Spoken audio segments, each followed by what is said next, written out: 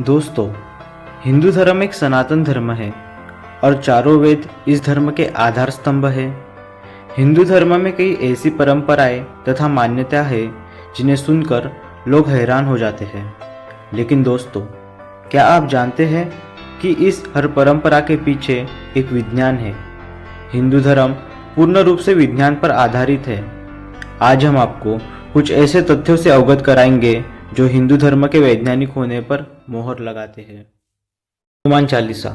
दोस्तों, हनुमान चालीसा तुलसीदास जी ने लिखी थी, जिसमें एक वाक्य आता है, जुग सहस्र योजना पर भानु लिल्लुतही मधुर फल जानू जिसका अर्थ है, सूर्य, जो जुग सहस्र योजन अंतर पे था, उसे आप फल समझ बैठे दोस्तों, अगर आप इस जुग सहस्र योजन अंतर को अंक में बदल दे तो ये वही अंतर है जो नासा की तरफ़ से सूर्य और पृथ्वी के बीच बताया गया है। दूसरा तथ्य, मंदिर और घर में दिया जलाना। दोस्तों, हिंदू किसी भी शुभ काम से पहले पूजा में वैसे ही घर में तेल का या घी का दिया जलाते हैं। दोस्तों, तेल का या घी का दिया जलाने से परिसर में सकारात्मक ऊर्जा बढ़ती है। वैसे ही ये हमारे इंद्रियों की भी शक्ति बढ़ाता है। तीसरा तथ्य कान पकड़कर उठक बैठक करवाना। दोस्तों, जब भी हिंदू धर्म के किसी भी गुरुकुल में कोई भी छात्र अगर कोई गलती करता था तो उसे कान पकड़कर उठक बैठक करने की शिक्षा दी जाती थी। दोस्तों, असल में ये शिक्षा एक प्रकार का योगा है, जिससे बुद्धि और एकाग्रता में वृद्धि होती है। वैसे ही, यह योगा करने से नींद भी चली जाती है और विद्यार्थी पूर्ण रूप से एक ही विषय का चिंतन करने में सक्षम हो जाता है। चौथा तथ्य हाथ से भोजन करना। दोस्तों, हिंदू लोग हमेशा अपने हाथ से ही भोजन करते हैं। पाश्चात्य देशों में भले ही इसे निंदक दृष्टि से देखा जाता हो, लेकिन हाथ से भोजन करने से हम हमारे मन, बुद्धि और शरीर का एक दूसरे से सहयोग करते हैं। पांचवा तथ्य, शंखनाद। हिंदुओं में हर पूजा से पहले और पूजा संपन्न होने के पश्चात शंखनाद किया जाता है। दोस्तों अगर विज्ञान की माने तो शंख का यह ध्वनि जहाँ तक पहुँचता है, वहाँ तक के सारे हानिकारक जीव जंतु को समाप्त कर देता है।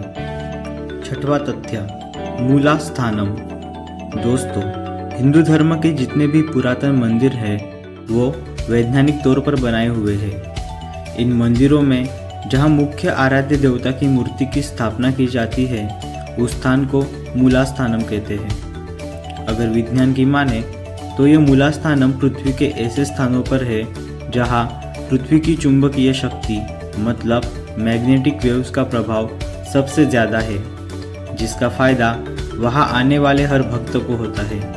वैसे ही यह ध्यान, तप या पूजा करने वाले भक्तों को उसका दस गुना फ़ायदा मिलता है। सातवां तथ्य, तुलसी का पेड़।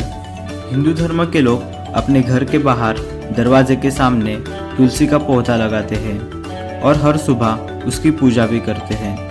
और ये परंपरा लाखों करोड़ों वर्षों से चल रही है। तुलसी के पौधे को आयुर्वेद में सबसे उच्च स्थान दिया गया है। तुलसी एक वनौषधि है, जिसका मात्र सेवन करने से ही हमारी रोग प्रतिकारक शक्ति में वृद्धि होती है। वैसे ही, तुलसी सारे सामान्य रोग, जैसे कि सर्दी, खांसी, जुकाम, ताप को जड़ से मिटा देती है।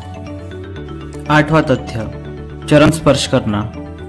हिंदू धर्म में घर के सारे छोटे अपने बड़ों के चरण स्पर्श करके उनसे आशीर्वाद लेते हैं। इससे बच्चे अपनों से बड़ों के प्रति प्रेम और आदर जताते हैं। लेकिन क्या आप जानते हैं कि इस तरह चरण स्पर्श करने से हमारी रीढ़ की हड्डी हमेशा एक अच्छे आकार में रहती है।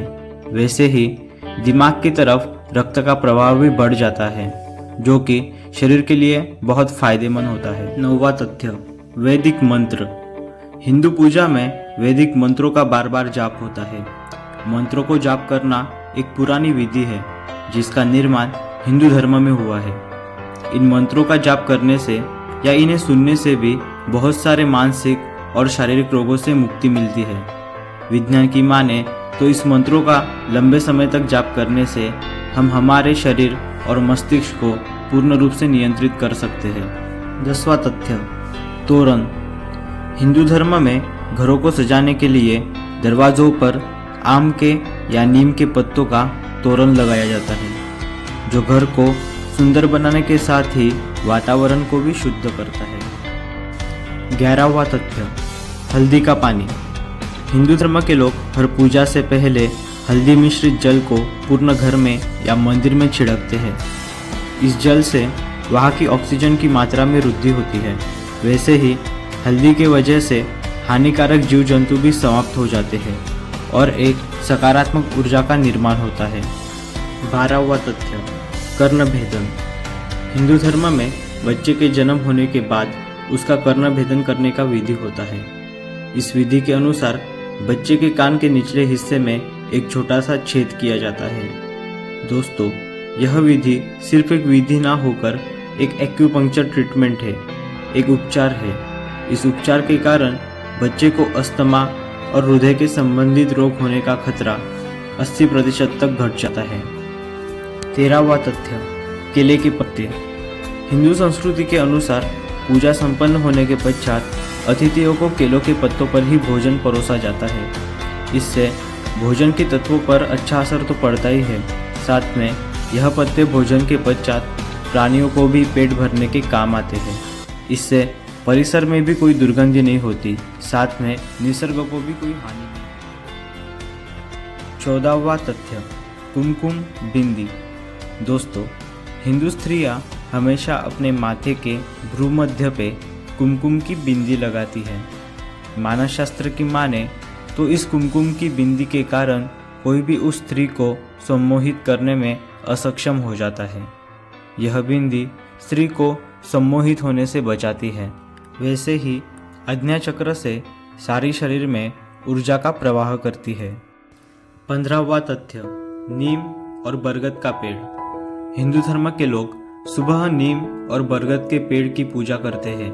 वैसे ही उसकी प्रदक्षिणा करते हैं। प्रदक्षिणा करने से श्वास की गति बढ़ती है और पेड़ द्वारा दिया गया शुद्ध वायु और ऑक्सीजन बड़ी मात्रा में शरीर के अंदर प्रवेश करता है।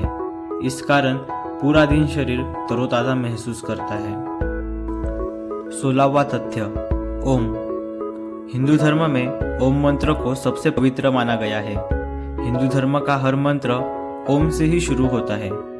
ओम मंत्र का उच्चार करने के तुरंत पश्चात ही हमारे हृदय की गति मंद हो जाती है और हम चमत्कारी ढंग से गहरे तनाव मुक्त स्थिति में पहुँच जाते हैं। यह ओम मंत्र हिंदू धर्म की ही देन है। सत्रहवा तथ्य, घंटी और तालियाँ। हिंदू धर्म में आरती और पूजा के समय घंटी और तालियाँ बजाई जाती है। इसका अगर वैज्ञानिक विश्लेषण किया जाए तो आप पाएँगे कि ताली बजाते ही आपका मन भूत और भविष्य छोड़कर वर्तमान में चल रहे उस क्षण पर आपके चित्त को ले आता है। वैसे ही, मंदिर में प्रवेश करने के दौरान घंटा बजाते ही आपके मस्तिष्क में चल रहे सारे विचार उस क्षण के लिए थम जाते हैं। यकीन ना आए तो अगली बार गौर कीजिएगा। अठारहवा तथ्य, ध्यान। दोस्तों, ध्यान ये हिंदू धर्म ने पूर्ण विश्व को दी हुई सबसे सुंदर भेंट है। ध्यान का निर्माण हिंदू ऋषियों ने ही किया है, जिसका प्रमाण है एक संस्कृत ग्रंथ, पतंजलि योग सूत्र आज भी ध्यान को सीखने के लिए और समझने के लिए पतंजलि योग सूत्र ग्रंथ का ही अभ्यास किया जाता है। ध्यान ही है जो आत्मा को परमात्मा से मिलाता है और एक मनुष्य को परम सत्य और परम ईश्वर के समीप पहुंचाता है। और इस दिव्य विधि का निर्माण हिंदू धर्म में ही हुआ है। दोस्तों, यह सारे तथ्य सिद्ध करते हैं कि हिंदू धर्म वैज्ञानिक होने के साथ साथ ही दुनिया का सबसे पुराना धर्म है। वैसे ही दोस्तों, हमने बताए हुए ये तथ्य समुद्र में पड़े एक गुण की तरह है। हिंदू धर्म आकाश की तरह विशाल है, जिसका जितना भी अभ्यास किया जाए, उतना कम है। तो दोस्तों, ये जानकारी आपको कैसे लगी, ये प्लीज़ हमें कमेंट में बताइए। वैसे ही, आपको जो तथ्य पता है, उसे हमारे साथ कमेंट में शेयर कीजिए। और इस वीडियो को लाइक और हमारे चैनल को सब्सक्राइब करना मत भूलिए। धन्यवाद दोस्तों।